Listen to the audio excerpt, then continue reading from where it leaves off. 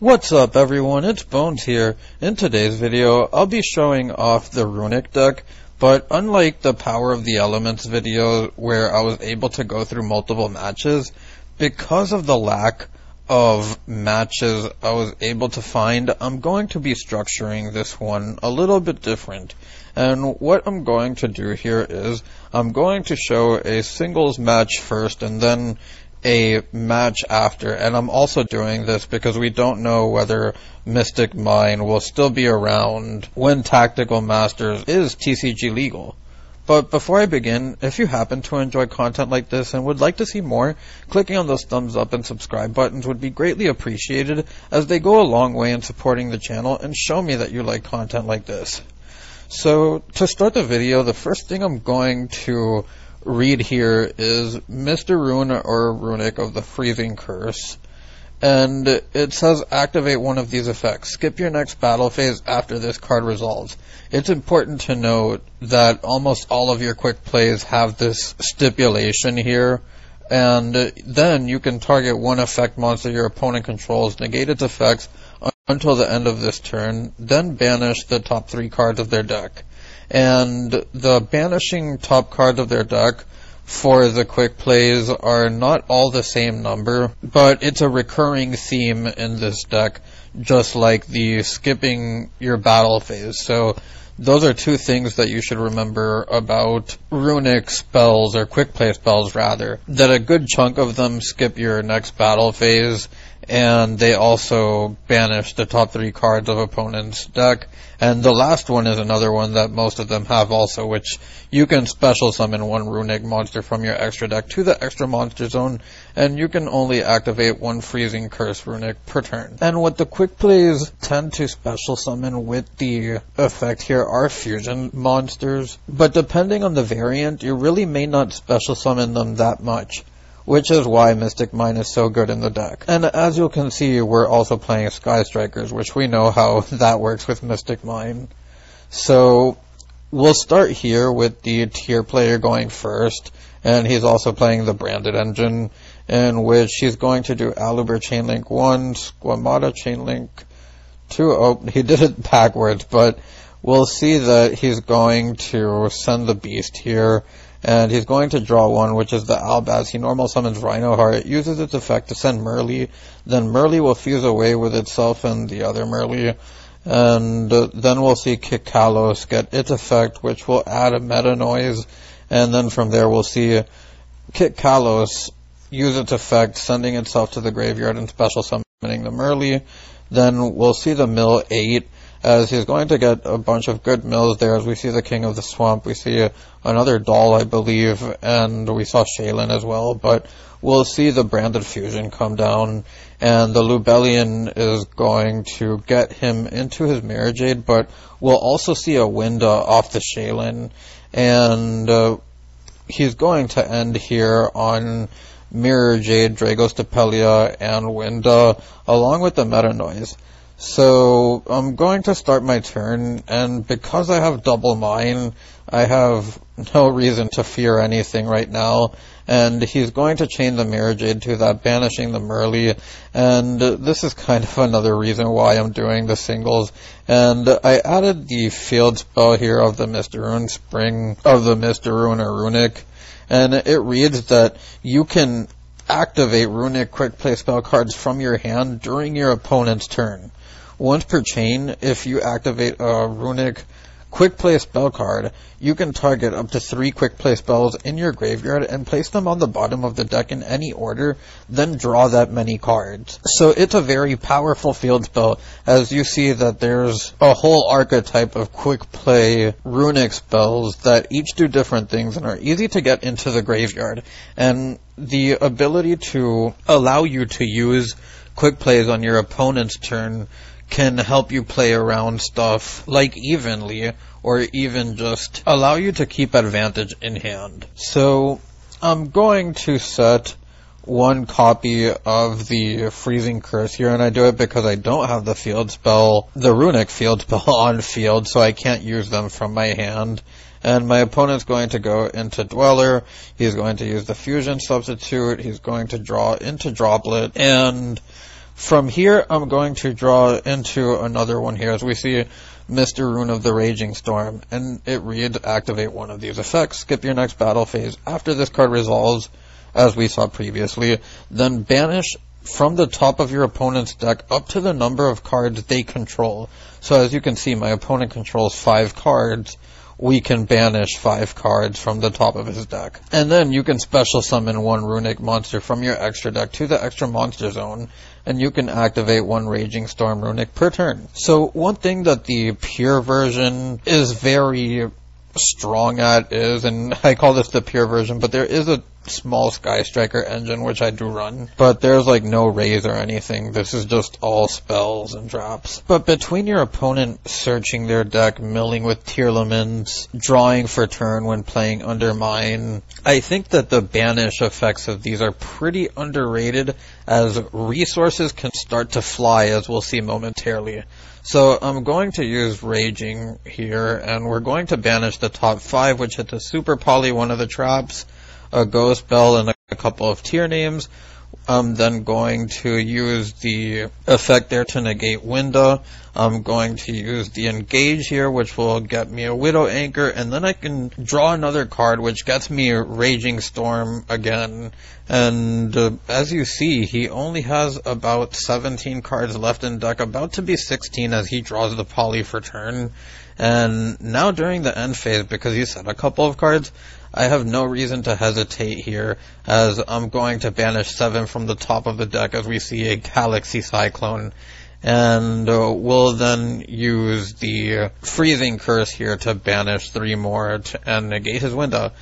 And I'll draw evenly for turn here, but there's really nothing my opponent can do here, and he's going to use the tear spell here, or the field spell, and then he's going to chain the super poly, fusing away into Dragostapelia, adding the Merrli, normal summoning the Merrli, and my opponent's just going to surrender. So on to the second replay here, and this is one of the variants that I wanted to show, or well, really the only variant that I'll show, and I'll talk about others that you can play later on in the video when I get to the deck profile. But quietly, I think that Magical Musketeers become a stronger deck with the Mr. Rune cards, as the field spell being able to draw cards, the point of the Mr. Rune, which I'll read right now, you can activate one of these effects, skip your next battle phase after this card resolves, as you saw with the previous ones, and this one allows you to add one Mr. Rune card from your deck to your hand,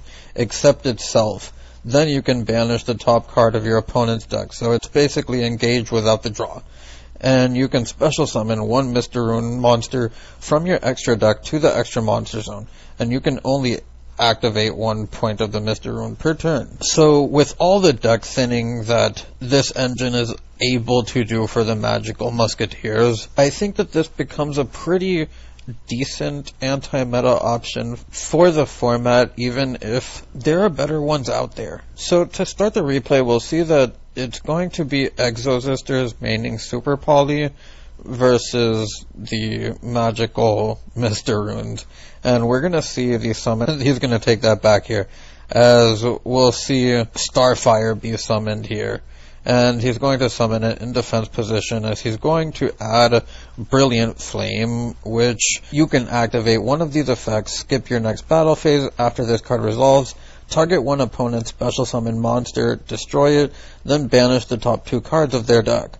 Then special summon one Mr. Rune monster from your extra deck to the extra monster zone like the previous cards that we've seen in regards to the quick plays. So we'll see that the Martha is going to get banished there off of the point, and we're going to see the special summon of Kid Brave as it was activated in Starfire's column, and now we're going to see a Tornado Dragon, and we'll see that we're going to get an activation of the Pot of Prosperity here. It'll banish three. We're going to see the add of the Martha. So now he has Irene and Martha. And from here, we will see the effect of Martha, which will special summon itself along with Elis, and from there we'll see the player in blue go to the battle phase, as we'll see the Martha attempt to attack over the Kid Brave, but that's gonna get hit with the Brilliant Flames, which mills the Stella and the Sophia. So from here we'll see the Kid Brave get its effect, pitching the Starfire and drawing two, which happens to be a Freezing Curse and another Starfire. And then we'll see the normal summon of Irene. He'll use its effect, get a D-shifter, go into his Mikailis, and then he'll probably, yeah, he will use the Mikailis here to add the Returnia, and uh, he'll then use it again to out his monster as we see the Tornado Dragon go to the graveyard, and he's going to send two and we'll then see a normal summon of the Caspar, but that's going to get hit with a Super Poly, which will summon Garuda, which is kind of cool to see, as Magical Muskets is one of the decks that do really get hard hit by Garuda being a card now.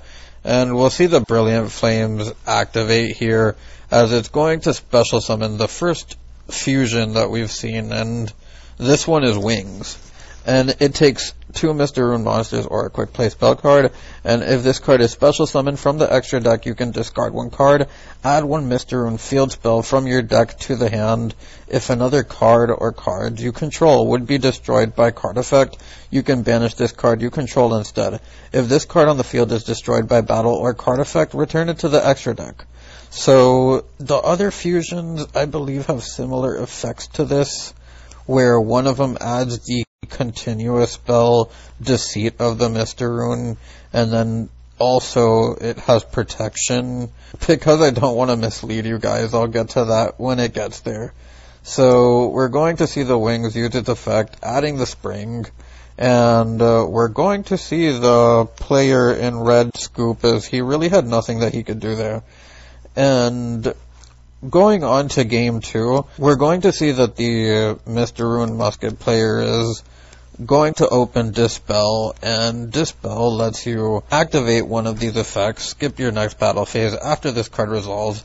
If your opponent adds a card from their deck to the hand, except during the draw phase, discard one random card from their hand, then banish the top two cards of their deck and you can special summon one Mr. Rune monster. From your extra deck to the extra monster zone, you can only activate one Mr. Rune of Dispel per turn. So as you can see, this deck aims to be similar to Sky Strikers, almost with a bunch of Hornet drones, sort of, and uh, just different ways to get advantage, whether it be popping your opponent's monsters, or spells and traps, having a card that can add one, the field spell, lets you draw. You can also take away resources from your opponent by banishing cards from the top of their deck.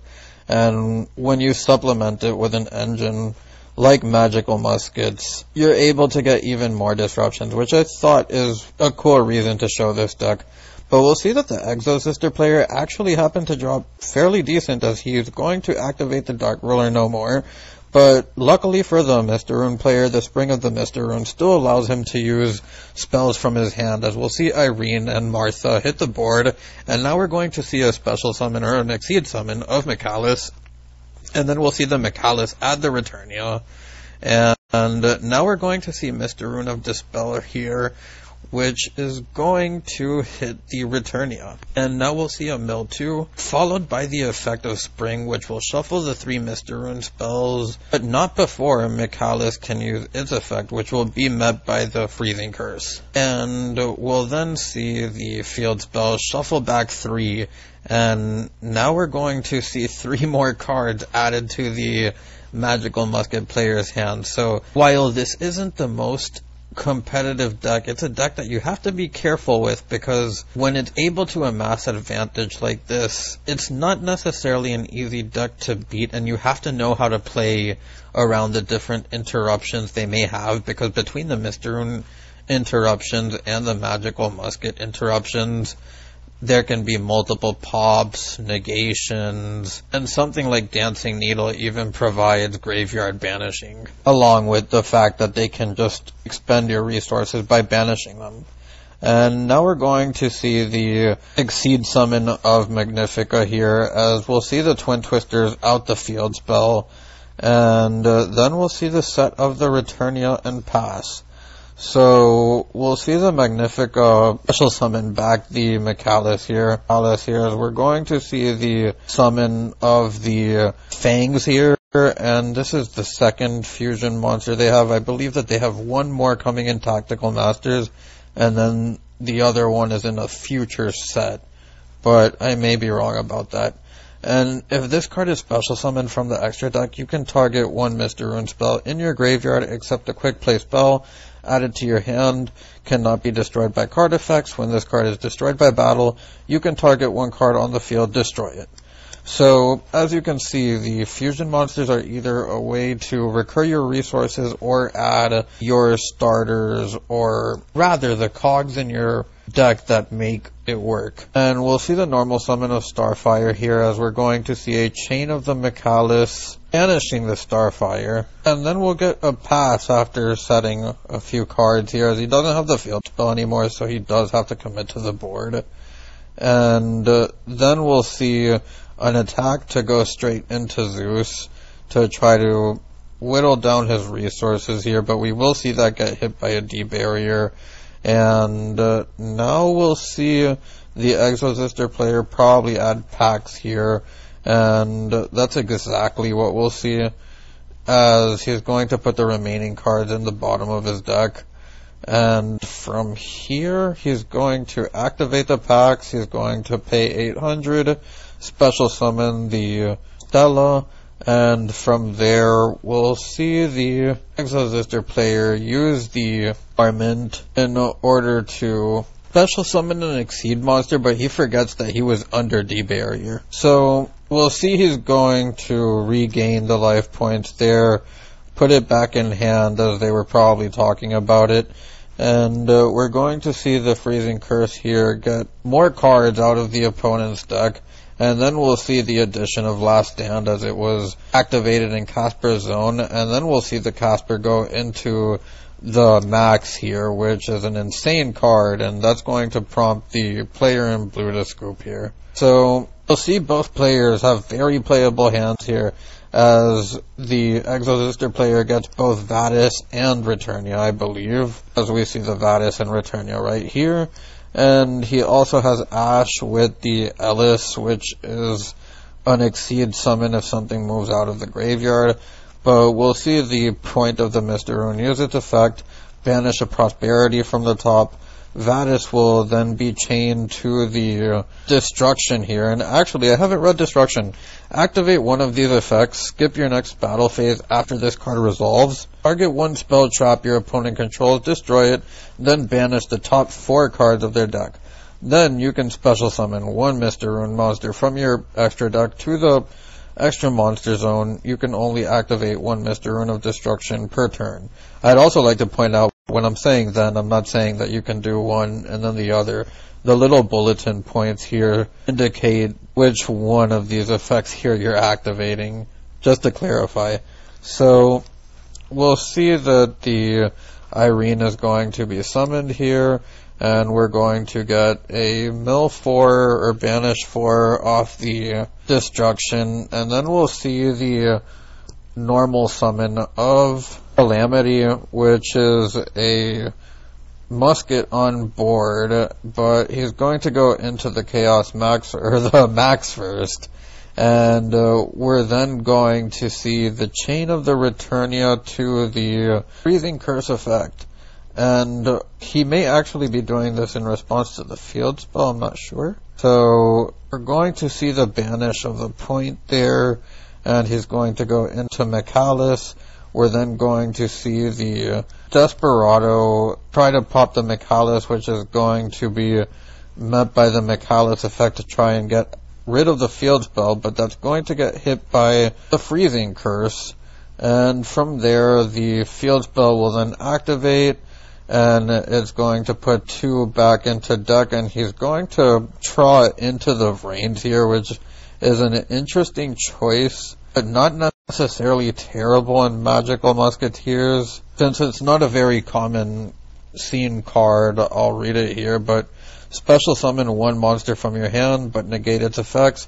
Then immediately after this effect resolves, link summon one link monster using materials you control, which you're basically going into this. And this link summon cannot be negated. Also, your opponent cannot activate cards or effects when a monster is link summoned this way. If a link monsters you control is destroyed by battle or card effect while this card is in your graveyard, you can banish this card. Add one monster with the same original type as one of those destroyed monsters from your graveyard to your hand and you can only activate one Into the range per turn. So definitely a crazy card in this deck when it resolves as you're able to make a max that can resolve without interruption. So we're going to see the Exosister player start his turn now as he top decks a Twin Twisters.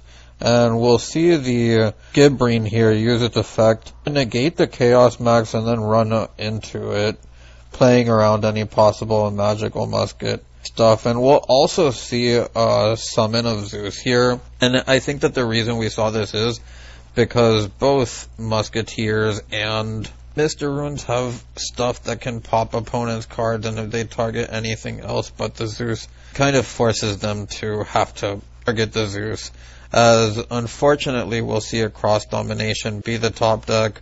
We'll then see the Zeus come down here. That's going to attack for 3000, and then we'll see another Spring of the Mr. Rune, followed by a Dark Ruler No More top deck, another attack, and uh, now we'll see a top deck Mr. Rune of Dispel, which will summon the Fangs here, and then banish two, and then the Fangs will get its effect, which can get back the field spell, and then the field spell will attempt to use its effect, but that's going to get hit by the Twin Twisters. And the Mr. Rune Musket player is just going to reveal the rest of his hand here as he has nothing. So while the Mr. Rune deck does take the L here, I believe that this replay did do a good job in showing the control element that the deck has and how it can be applied to different decks like Sky Strikers, Invoked, Trick Stars, things that play Mystic Mine, really. That does come with its downsides, as you see the reliance on having a field spell on board. So before I begin the deck profile, I would like to read the wings here, the second pair of wings, and it takes two runick monsters or a quick play runick spell. If this card is special summoned from the extra deck, you can discard one card add one continuous spell from your deck to your hand, which ends up being Deceit of the Mr. Rune, which reads you can only control one Deceit. Each time a quick play spell card is activated, banish the top card from your opponent's deck. This one's secondary effect is that when your opponent activates a card or effect that targets the runick cards and or set cards you control, quick effect, you can banish this card you control, negate the activation, and if you do, destroy that card. Once per turn during the end phase, you also gain a thousand life points. So first I'll begin with the card by card, and you'll see that there's three Spring of the Mr. Runes, three Mystic Mine, because I think that if you're playing the pure version, you kind of do have to go this route with the demise of the lands, the three trap tricks, three D barriers, the three imperms. There's no terraforming, but there is metaverse. Because you play the Sky Striker engine, this could be terraforming, actually was terraforming before I put Metaverse in here. I thought having the option of a chainable Mystic Mine is pretty strong for a deck that isn't really trying to attack your opponent and is trying to out-resource them. Then we'll see the one deceit of the Mr. Rune, the three point of the Mr. Rune, your engage or your Stratos for the deck to play three, and uh, this one is sort of like your pseudo afterburners as mentioned before play three of that. Then target one spell trap your opponent controls. I play two of that. And then two Mr. Rune of the Raging Storm here also, as can be a good way to spend your opponent's resources even more. Then we'll see the three Freezing Curse, the three Widow Anchor, basically same purpose, except one banishes the top three of the deck when control of an opponent's monster. the one Hornet Drones, the one engage, upstart goblin, set rotation. The three trap trick, three D barrier, and three imperms. Unless your hand is clogged with field spells, a lot of the times you're going to be setting four or five. So when playing this deck, be prepared for that. Now onto the extra deck, we'll see the two female wings, the one male wings, the fangs, the one access code, the unicorn, the phoenix, the zeke, the Kaina, two of each Sky Striker name here because we're only playing the one engage, one drones, the widow anchors, and I have the shark cannons and the afterburner. Did as you can see because I wanted to run this engine because of its ability to debarrier and stop a turn. Which can just get you into phase to beat their board or fortify your board in order so that they can't break it and get you in a position where you can mill them out. So onto the side deck and aside three Sky Striker cards here. We'll see the one Pink, the three Crow, the three Dark Rulers, the three Twin Twisters, for the anti-spells. I still think it's important to play around anti-spell, especially in a 30 card spell deck. And then the one Harpy's Feather Duster and the one Red Reboot round out the deck profile. Lastly, I'd like to go over the other Mr. Rune cards that may not see as much play, just didn't see play in this video. Activate one of these effects, skip your next battle phase after this card resolves. Your opponent draws one card, then you banish the top four cards of their deck. Special summon one runick monster from your extra deck to the extra monster zone, and you can only activate one of those per turn. Also have the Slumber Runick, which has the same battle phase skipping effect. You can target one face-up monster on the field, apply this effect to it, then banish the top three cards of your opponent's deck. Once applied this turn, that monster cannot attack. Also, the next time it would be destroyed by battle or card effect, it is not destroyed. And you can special summon one runick monster from your extra deck to the extra monster zone, and you can only activate one slumber runick per turn. Freki here is one of the new ones. I'm only going to go over it because I'm unsure if we get it here or in future set, but an attack is declared involving this card in the extra monster zone. You can banish the top two cards of your opponent's deck. Neither player takes battle damage from the battles involving this card. If this card on the field is destroyed by battle or card effect, you can target one runick quick play spell in the graveyard and add it to your hand. You can only use this effect of Freki, the runick fangs, once per turn. I hope that pretty much wraps up everything that need to know in order to start off with this deck. Apologize I wasn't able to get more replays.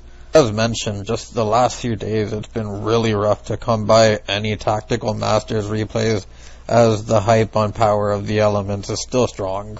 Anyways, if you made it this far into the video, I thank you for watching and I hope you enjoyed. If you have any suggestions or comments, feel free to leave them down below. Improving the player base including myself, is one of the things that I would like to see a thing in my comment section. But anyways, it's Bones signing out.